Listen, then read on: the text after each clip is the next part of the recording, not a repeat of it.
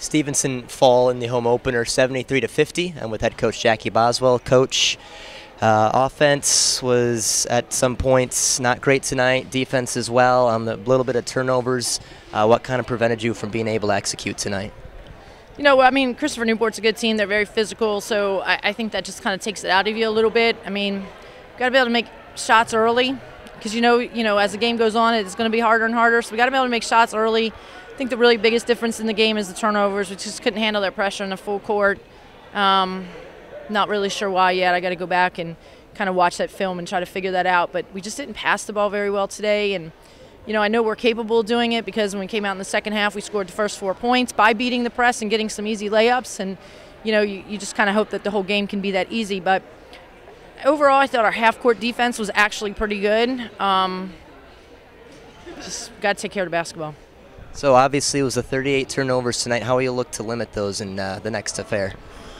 Um, I don't know. Like I said, right now I got to go back and watch film. I got to just trying to figure out. I mean, we're playing with a freshman point guard. I think she's doing a great job in Morgan. You know, um, but you know, I, I, think we just got to settle down. I think our returners are just trying to do too much, and our freshmen they just got to get up to speed a little bit quicker. And you know, when you have that kind of you know, you got a couple returners, and then you're trying to play a lot of freshmen. I just think it's going to take us a little bit of time. You know, obviously we started off with a really tough schedule. Um, you know, Marymount, Christopher Newport, both quality programs. Um, just kind of hope that doesn't hurt our confidence right now because I think we did some things well, and we just got to focus on those and, and keep capitalizing on that. I mean, you mentioned returners and freshmen. It's kind of a mix right now for you. Is what's I guess the best way to try and get that to work? Well, I just need my returners to just kind of settle down again and trust in the freshmen when we do put them in the game.